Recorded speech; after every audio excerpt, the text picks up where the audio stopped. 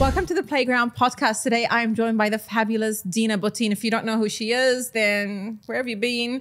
Fantastic TV presenter. She's been around in Dubai for a long time. I'm sure you're going to recognize her face and a huge mommy influencer, dare I say. Influencer. Ooh, nice intro. Thanks. Thanks. Uh, I freestyled that one just for you, Dina. Thanks. I appreciate it. It was very well done. Very natural and very, uh, I don't know, made me feel good. It was a good way to start my day. Mm, good, good. Dina, Dina, Dina, Dina. Where do I start with you? Oh, wherever you want. Okay. You can ask me anything. I love that. I, I might get, regret this later, but yeah. you can ask me anything. I always get rules. I'm going to start off by I really want to speak about your content creation journey. Sure. Okay. Because you were on TV, very traditional media. Right. What you guys don't understand is because I'm in PR and Dina is in media, this is even going to be more interesting. Like it's it's and we've been around for a long time in these industries. Yes. So, TV. You went from TV and then you became a content creator. What happened? Well, I met my husband at TV, at the TV station. and we were both on different shows. I met him immediately, fell in love with him, and a year later, uh, we were married and we were trying to get pregnant for quite a while. A week after finding out we were finally pregnant, all of our shows shut down. All local productions shut down at the TV station. Mm. And yes, it was kind of shock, especially oh God, when you anxiety. both work for the same company. Serious anxiety. And I had you know, fought so hard and so long to get to the position where I felt like we were stable and the life that I had been dreaming of had been built and we were, I don't know, everything was just consistent and stable. I think every parent's dream. And then, yes, I lost my job and I just, I always say, I kept thinking, who in the world is going to hire me now? So uh, I was quite depressed for a while. Um, and at the time, I remember it was, blogs and very Pinterest like photos that were popular. Mm-hmm. And I was like, well, my background's videos. I know how to film and edit videos. So I started making videos while I was pregnant. No one was really interested in that at the time. Mm-hmm. But I think I sent over a hundred emails to companies before I finally heard back from somebody. I think it was Baby Shop was my first ever client. And thank that's you, Baby my, Shop. Thank you, Baby Shop. And that's how my content creation journey began. It I was paid peanuts. I worked like crazy, but I really wanted to um, build some sort of reel. Yeah uh, you know, highlight reel of what I could do. And what in that year time, was that? Sorry to interrupt. Ooh, so that was 2015. Okay, yes. So there's that side, which mm-hmm. that's the more polished version of what you see. The the behind the scenes version was I eventually, you know, gave birth. Um, I was doing a series for Mom's World, and there were some crazy things that happened while I was on set with my child. I mean, there's so many discussions we could have here, which is going back to work after being a mother, um, having your child with you on set, how amazing amazing that is, but also, you know, breastfeeding on set, having my baby vomit all over my outfit and still oh having to God. continue filming. Uh, yeah, there was, it was interesting times, you know, best and hardest. So I feel that a lot of people, and I mean, before I had kids, I would look at you and say, How is Dina doing all of this? Like all the time. I'd be like, Oh my God, how does she have all this energy? Now that I have kids and two kids, how on earth do you do it, Dina? Which part? Do what? Do everything. How do you film? Because filming and creating content is a full time job. And then, like, there's times like mm. when huge events happen and you're part of them, like heavily part of them. How do you juggle everything? So I feel like I talk a lot this talk about this a lot on Instagram, but it's funny. People want you to be open and transparent, but I feel like it's never what gets the biggest response, if that makes sense. Um, so honestly, I deal with a lot of anxiety, which I think people would be surprised to know. I put a lot, a lot of pressure on myself. Um, but I am also somebody who's genuinely excited about life. I'm genuinely excited every day to wake up. And because uh, let's say I get very excited and hyper. I was like, let's do this and let's do that. And, and I want to do everything at the same time. So on a regular basis, on most weeks, I am TV presenting, doing voiceovers. Sometimes um, I'm seeing. Um, and then obviously the content creation. I'd say out of all of those, I probably find the content creation to be the most stressful. And I don't do it all because we've discussed this before. Everyone's always like, how does, how do moms, how do they do it all? Like working mothers. And we don't balance, right? One day you're better at being a mother, and the next day you're better at being a presenter, but something always has to compromise. Your head can't be in the same place every single day.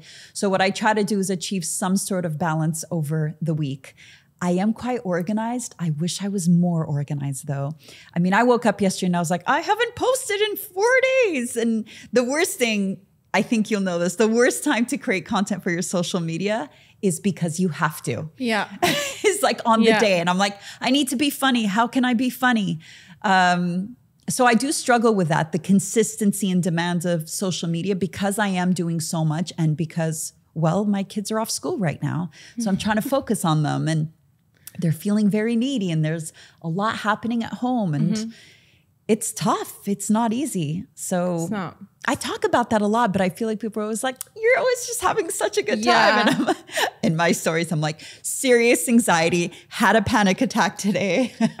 I know, but by the way, some people don't see stories, right? So for me, when I look at your reels, I'm like, haha, she's so funny. How does she have time to think of this? Like all your reels are so on point and every mom can relate to them. Like I You know, remember like the, the laugh so you don't cry, right? last the last one you did the, in Ramadan, which really hit home with me, is five minutes before iftar. I can't even remember that right Okay, now. anyway, Which one? guys? uh, Please look at Dina's content. It is hilarious, and every woman and mom can relate to it. But Thanks, Shami. um, so you come up with all your own ideas, right? I do. I mean, obviously, sometimes I'm inspired or I jump on a trend. Okay. But yes, um, and I have a fantastic crew at home that comprises of my mother, my father, my husband, and my amazing nanny Norma. Production team, right there, Al Butti So- team. Yeah, sometimes the kids even get in on it. Yeah, sometimes they're even filming. Speaking of kids, you know what I'm going to ask, right?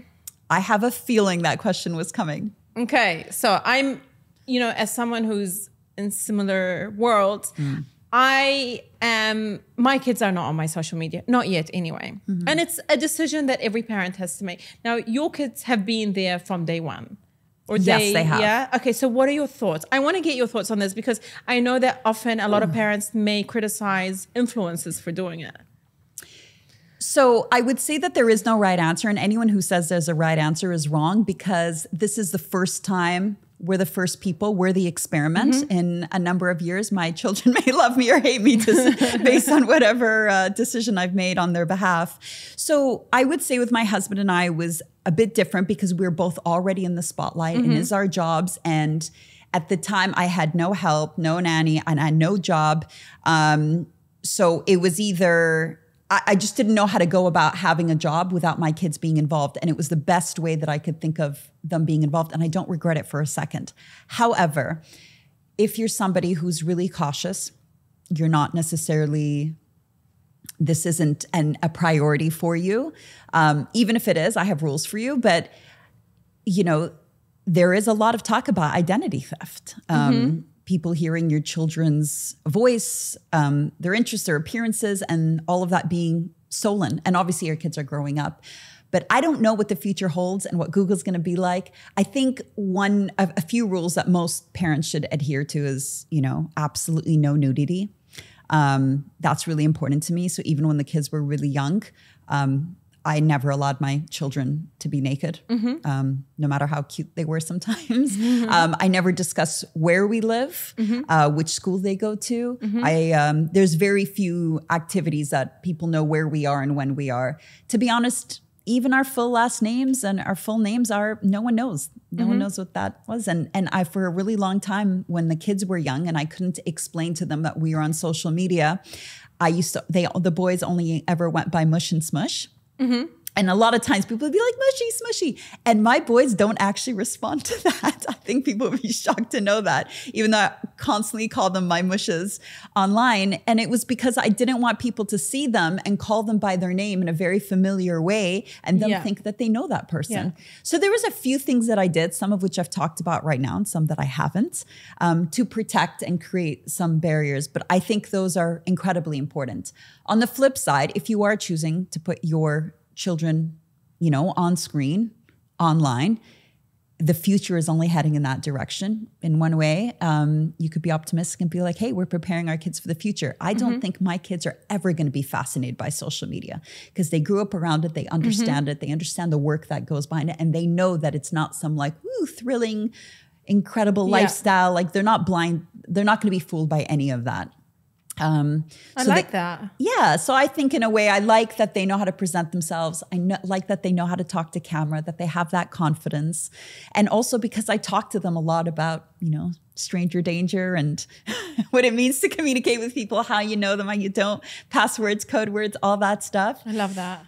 There's, you got to do your homework. So there is no right or wrong decision. There's only the decisions you make for yourself. And it's an incredibly personal one.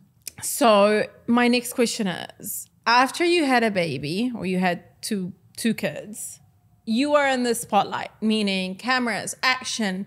How did you deal with the weight loss? Because I know that's something I'm struggling with. I mean, I still have another ten kilos to go, but as moms, it's a lot of pressure, right? And when did you have the time to exercise? I mean, I remember watching your videos, but how did you manage?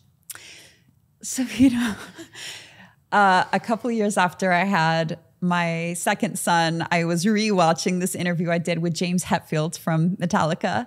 And Just casually, just casually, I love that guy, right? And I love Metallica growing up. But I, and I was reading the comments, and the top comment that was most liked was something along the lines of, man, this this girl used to be such a hottie. I just went to her Instagram. You should see her now. And it was some sort of emoticon of like a puking face or like a like a really like People are so mean. you know, they're like they're probably 13 years old, whatever. Yes, online bullies not the best. Um, and it came at a time that I was really struggling with weight loss. And I don't even think it's about so much the weight as it is that you want to, you already don't feel like yourself and you want to look like yourself. So it's a double whammy and it's So and it's heartbreaking and you're sleep deprived and you have absolutely no routine and all you want in your life is to feel good about yourself. Yeah. um, and in control. I think a lot of it for me was feeling in control. So I struggled. The first time around, I was able to bounce back, but the second time around, it took me about two and a half years of trying, by the way, not just hanging around. Mm-hmm. I did all the same things that I did the first time around, but it just didn't work as effectively. I'm constantly gaining weight and losing weight. I'm not somebody who is naturally thin. I was quite overweight growing up.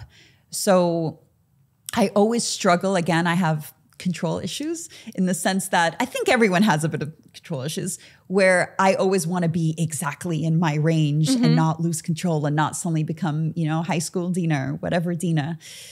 I'm struggling with that right now because even though I think I look great, I'm like, oh, I gained a few kilos. You And look I amazing, hate- Dina. Thank you. And you know what? I, I feel really good about myself right now, but I think we all have a bit of body dysmorphia mm-hmm. because I work a job where I'm on screen and on stage, and a lot of people are, you know, fixated on my appearance, even when I'm not. And I have a stylist who brings me clothes that are a certain size and makes comments. And it's it's really hard, even when I want to be. See, I hate that I'm saying this. I hate that I'm saying this on a podcast because I wish I could be like, you just got to embrace your body, and you do, and you got to love your body. You got to be Yeah. so thankful. But the reality is, is that we all do struggle, whether we talk about it or not. Um, I think this year, though, especially with everything that's been going on with Palestine, um, I really have an appreciation for the fact that for my health and for the fact that I have, you know, all my body parts and that I am healthy and able to run around and take care of my children. So I think that has really done a lot of good for my mental health and and acceptance. Yeah, I think it's been a wake up call what's happening around Yeah. us, Palestine. And obviously for me, it's very close to home, Sudan. And it's been crazy. So I think you're Absolutely, absolutely like right. millions of people starving, and we're like, ah, you know, fretting over what we should eat. Ozempic stressing. or Mounjaro? Yeah. Like, which one should I? By the way, for real, that's one used to be one of my. Well, at least I guess some days I do think about it. Ozempic or Mounjaro? Which one should I take? And then you kind of get Look, on your most day. days I wake up and I'm just so unbelievably thankful. But another day, like the other day, I woke up and weighed myself, and I'm like, why am I four kilos above my, Yeah. you know, my my my range? Because I'm like, what if four kilos turns into ten, turns into Yeah. 14, and then suddenly I can't, you know, But see, looking from the Resemble- outside, Dina, you can't tell that you have any of these struggles at all.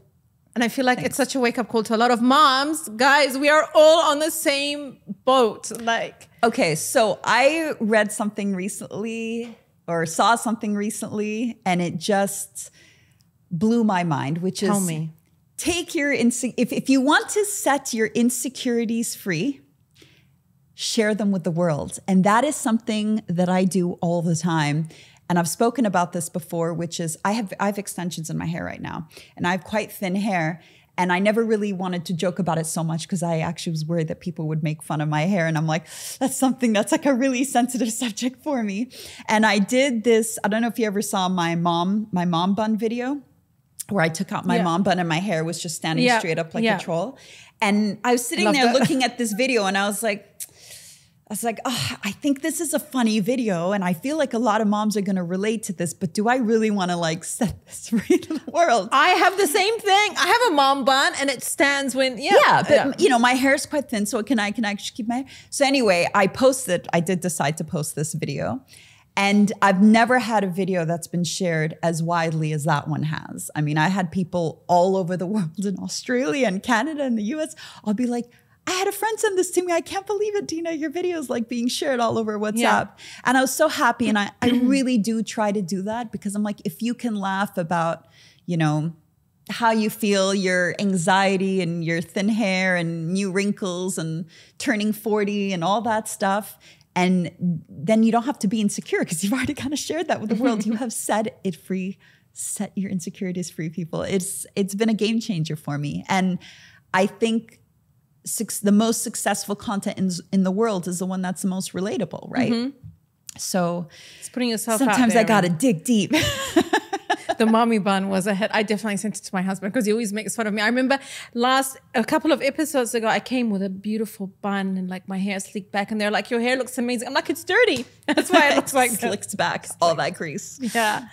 So, Dina, a lot of moms and content creators see your stuff and they love it because, I mean, the back to school one, when after the storm, I literally saw that and I could relate with every part of my body, like of you. The kids are walking away and you're sweeping and you just, You know how many people messaged me and said, What did you do? Did you use a filter? I'm like, No, I just didn't have makeup on. They're like, But you put black all over us. I was like, I was really exhausted that day. It was real. Talk about sharing your insecurities. so that's that's what I love. So if you were to tell me top tips for content creators and mommy influencers mm-hmm. trying to get into the game, make money with mm-hmm. brands. I think number one is the one that's shared most widely, which is authenticity. I mm-hmm. think you really have to be yourself. And if I think when people used to ask me for advice on being on camera, I said the hardest thing you can do, the, the hardest thing you can do on camera is be yourself. People are like, what do I do with my hands? How do I, where do I look? Where do I? And you have to spend time really getting to know yourself and finding a way to be your most natural on camera and then spend a lot of time with yourself. Notice take note of things that you do that are ridiculous that people might relate to or funny things funny stories that you've had. And i'm constantly sitting there reflecting and being like what's been bugging me lately? What's been funny to me lately? What am i going through? Which is part of the reason i started talking about Palestine, by the way in a million years that i think people would resonate with that. But yeah be yourself number one for mm-hmm. sure. Should I That's continue? nice support. Yeah, if you have any more.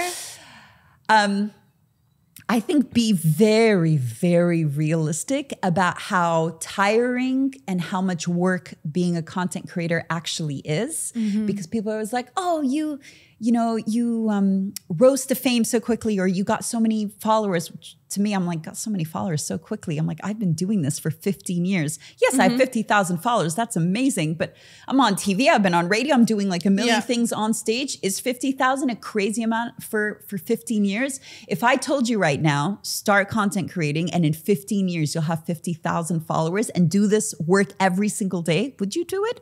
Think about that. So in the beginning, it used to take me take me quite a while to edit. So I remember some of the first campaigns that I did. I spent um, like six hours filming, let's say, and six hours editing to get Wow. a one minute video that I was very happy with. That's how long it used to take me. Obviously, now it doesn't take me as long. But are you willing to do that? Are you willing to spend that time and energy and the patience to actually be successful? So be realistic with yourself about Be that. realistic. Um, I think from my side, I would say one thing about you is that yes, you're very goofy, but I feel like you don't over criticize yourself, maybe because that's how it comes across. Like if you're hard on yourself, you won't be able to put out the content that is funny that every mom like is struggling with dirty hair and the mommy bun. But But I am hard on myself. I think it depends on the video that I'm doing. okay. Um, when you're on TV, there's a, you know, there's a lot of people commenting on how you look, and it was very hard for me to get on television because a lot of people there in the production side of things didn't think I was attractive enough. I wasn't thin enough. I was You still were to so get a nose job. Dina. But I was given a lot, a lot of feedback, and I still am on quite a consistent basis, you know. Um, and so I can be quite critical of how I look, but I think it depends on the mood. So obviously, when I'm going on stage, I want to look my best and feel my best. But when I'm, I'm just trying to be really realistic and honest here. I know that it's not necessarily the answer that you're no, looking I want for. I but- want Dina, honest but I Dina. think I think I am very critical of myself and I think I'm very hard on myself and I have insane expectations of how productive I should be every day. I really struggle with that. I have my to-do lists and I try now to remove 30% of it because I know that even having removed 30%, that's still a really ambitious to-do list. But every day I wake up and I'm like, and I'm hard on myself at the end of the day. I'm like, you should have worked out. You know, health is really important. You're high risk for breast cancer. Work out. You need to be lean as well because you know, health and susceptibility to all that. And then, um, you know, what did you do for your social media? You want to grow, but you're not working enough. And I see all these other content creations. I mean, was that quote? Comparison is a thief of joy. My goodness, is that true? Comparison is the thief Yeah. of joy. You compare yourself to other people, and then I'll be, look at these content creators. They post every day. I can barely post twice or three times a week, and they're so funny. How are they so funny all the time? So I, I think I am really hard on myself and I try not to be, but I'll tell you the moments that I am able to make those goofy videos and I'm in the right mood, my God, that is the job that I love. And I wish I could be in that mood and film that and capture those moments.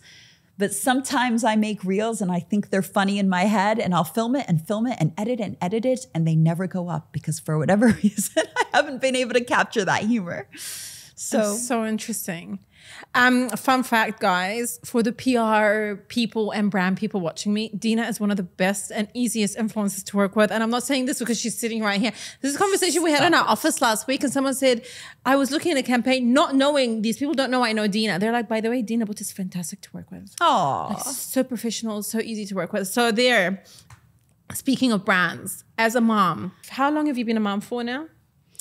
Nine years. Oh, it's a long time. It is. Um, It gets better, by the way. I never it? wanted them to grow up. Oh my and God. my husband was like, What are you talking about? They're going to grow up. And I'm like, And we'll watch movies together. We'll play games and we'll go do activities we both actually like. And it is fantastic. It's a whole new world. Oh my god. The problem is, is they're going to be so cool so soon that they're not going to even want to hang out with us. But right now, I'm loving this. Six years old and nine years old. I think I'm in the oh in a Oh really God. good stage. I can't it's wait. coming. It's coming. Just wait. I'm at the four and It's hard. Yeah. Yeah. Baby, baby, and four. Four is not an easy one either. Yeah. Yeah. We're full of attitude. But mama journey, right? Yeah. There's so many brands getting thrown at us. For all the new moms or expecting moms, what are the brands that kind of stuck in your mind over the last nine years that helped you? So I loved Baby Shop, and I swear it was before they started working with me, just because I find that the UAE is so expensive, Yeah. and Baby Shop remains really great value for money. Okay. So I absolutely love them, um, and they're everywhere. I would say no matter how many strollers I've tried, the Yo-Yo Zen. Oh, Yo-Yo So Zen. good. Can you believe I don't have one, but I always talk about it. I don't know how. So I think I because we obviously sample and I've worked with some fantastic. I mean, UPPAbaby is great. I've, I've worked with a lot of different Yeah. brands and I genuinely love the strollers. But at the end of the day, if I had to choose one, the Yo-Yo Zen is hands down out of all of them my favorite. Just a great combination of being compact and durable. And When I was pregnant, somebody said to me, "Buy it," and I said, "Uh, uh, uh." And then I and they're like, "Shamim, if you don't buy it now, you will buy it. Trust me, just buy it now." We ended up buying the UPPAbaby Vista, which I absolutely love, and it's super stylish. But yeah, No, and they've got a great basket underneath. That's it the collapses thing, and I really nicely. clutter, like- it's great when you travel. Not great for the overhead, but Yeah. know. Lastly, I would say KCAL.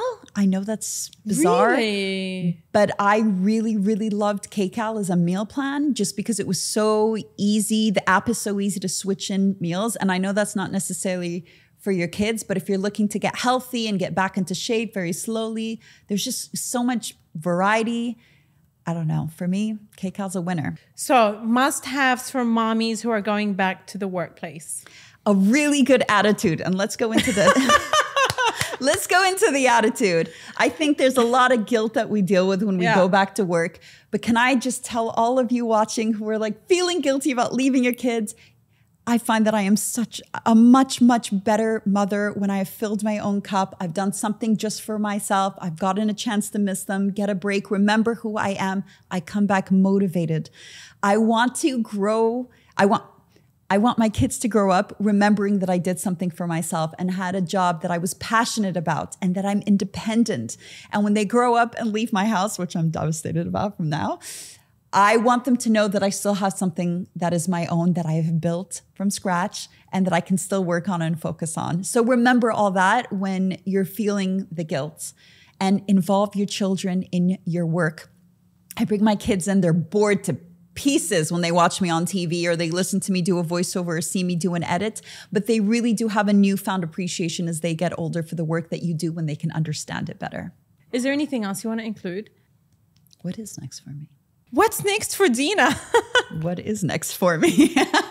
That's a really good question. A question I ask myself all the time. Should maybe, Mish, you and I should have coffee, maybe have some Yeah. ideas. You know what? I'm always brainstorming and trying to think of like what's next, this, that. And, Yeah.